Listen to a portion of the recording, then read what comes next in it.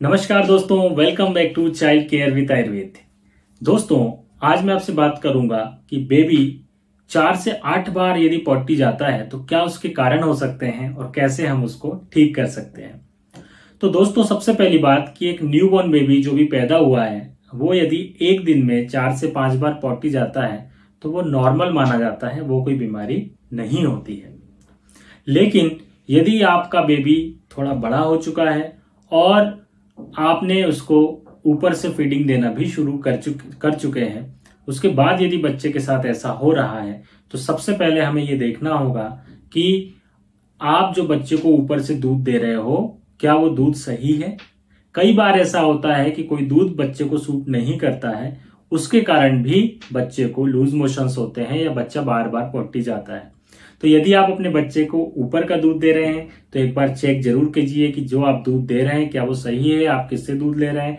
यदि ऐसा लगता है कि उस दूध को देने से ऐसा हो रहा है तो आप दूध को वहाँ पर बदल कर देख सकते हैं, प्रैक्टिकल करके देख सकते हैं कि आप दूसरा दूध वहाँ पर दीजिए तो अच्छा रहेगा। इसके अलावा यदि बच्चा बार बार पोटी जाता है तो वहाँ पर आप गाय का दूध भी बच्चे को दे सकते हैं, उससे भी पोटी की समस्या बच्चे की कम हो जाती है।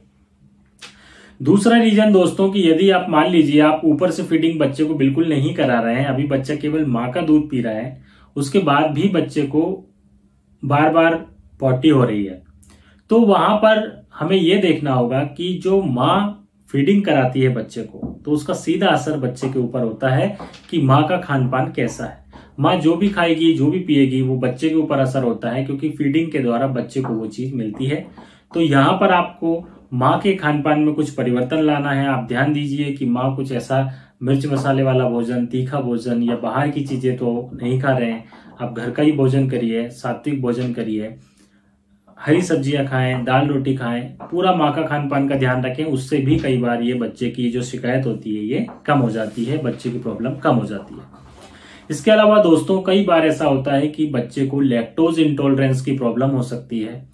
लैक्टोज इंटॉलरेंस क्या होता है कि बच्चा जो होता है लैक्टोज जो शुगर होती है, उसको पचा नहीं पाता, जो कि दूध के अंदर लैक्टोज होता है। तो उसको नहीं पचाने के कारण बच्चे को दस्त लग जाते हैं। तो वहाँ पर अपने डॉक्टर से आपको संपर्क करना होगा कि यदि लैक्टोज इंटॉलरेंस की कंडीशन है तो वहाँ पर हमें बच्चे को लैक्टोज फ्री डाइट देनी होगी लैक्टोज फ्री मिल्क देना होगा। अब आते हैं दोस्तों आगे। यदि बच्चे की पोटी हरी हरी सी आ रही है, या पॉटी में झाग आ रहा है, या बच्चा कंटिन्यूसली रो रहा है, या बच्चे को साथ में बुखार है तो फिर वहाँ पर हमें जो है थोड़ा सा सतर्क रहना पड़ेगा। हो सकता है बच्चे को कोई इन्फेक्शन हो, उस इन्फेक्शन के कारण बच्चे को बार बार पॉटी कर रहा है बच्चा, और ये सारी शिकायतें हो रही हैं। तो यदि हमें ये सारे लक्षण बच्चे के अंदर दिख रहे हैं तो वहाँ पर हमें डॉक्टर को दिखाना चाहिए। इसका मतलब ये है कि ये इन्फेक्शन के कारण बच्चा ऐसा बार बार पॉटी कर रहा है। कई बार दोस्तों ऐसा होता है कि जब बच्चा छह महीने से आपका बड़ा हो जाता है और जब आप ऊपर से फ़ीड देना शुरू करते हो या ऊपर से खिलाना शुरू करते हैं सॉलिड आइटम तब हम, जब हम देना शुरू करते हैं तो कई बार उसके कारण भी चूँकि हमने एकदम से डाइट में चेंज किया है तो उसके कारण भी बच्चों को लूज मोशंस लग जाते हैं। माँ थोड़ा सा भावुक होती है जल्दी जल्दी में ज़्यादा ज़्यादा खिला देती है कि हमारे बच्चे का पेट भरा रहे खूब सारा बच्चे को मैं अपने बच्चे को खिला दूँ, जिससे मेरे बच्चे का वज़न बढ़ जाए। तो ये चीज़ें भी कभी कभी नुकसानदायक हो जाती है। इसीलिए बच्चे को जो है आप बार बार खिलाइए। एकदम ऐसा ना करें कि आप बहुत ज़्यादा मात्रा में खिला दें, क्योंकि उससे भी बच्चे को दस्त लग सकते हैं। तो आप लिमिट में खिलाएँ बच्चे को, और आप बार बार बच्चे को खिलाएँ, जिससे कि बच्चा उसको आसानी से पचा सके और बच्चे को लूज मोशन ना हो, बच्चा बार बार पोटी ना जाए।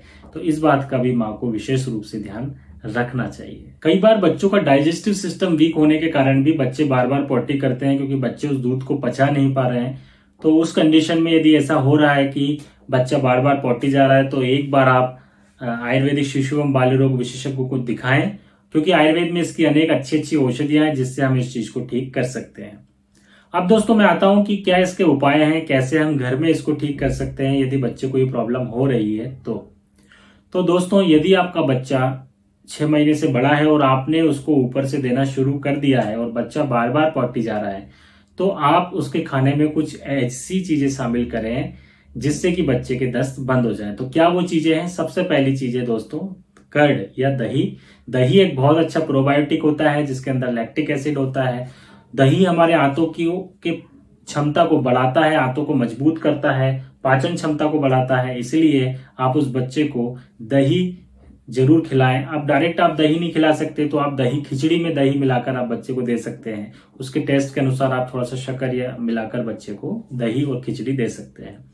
इसके अलावा दोस्तों, बनाना या केला हम सभी जानते हैं, ये बार बार पोटी जाने की शिकायत को कम करता है क्योंकि ये रोकता है उस चीज़ को।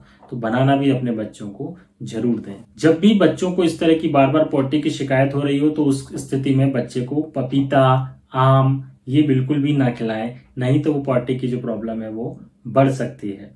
इसके अलावा दोस्तों, यदि आपका बच्चा बड़ा है और थोड़ा सा कुछ चबाने लगा है, खाने लगा है तो उस कंडीशन में आप बिल्व की कैंडी या बिल्व का मुरब्बा आता है, वो मुरब्बा आप अपने बच्चे को क्रश करके अच्छे से उसको बिल्कुल बारीक सा क्रश कर दीजिए और वो धीरे धीरे उसको बच्चे को चटाइए। यदि आपका बच्चा आठ नौ महीने से बड़ा है तो तो उससे भी काफ़ी अच्छा फ़ायदेमंद होता है और बच्चों की ये जो प्रॉब्लम होती है, ये ठीक हो जाती है। जय आयुर्वेद।